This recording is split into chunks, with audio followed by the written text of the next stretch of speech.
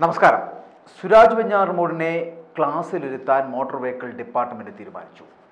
നടൻ സുരാജ് വെഞ്ഞാറുമൂട് സഞ്ചരിച്ചിരുന്ന കാർ ഇടിച്ചിട്ട് ബൈക്ക് യാത്രികന് പരിക്കേറ്റത് കഴിഞ്ഞ ദിവസമായിരുന്നു.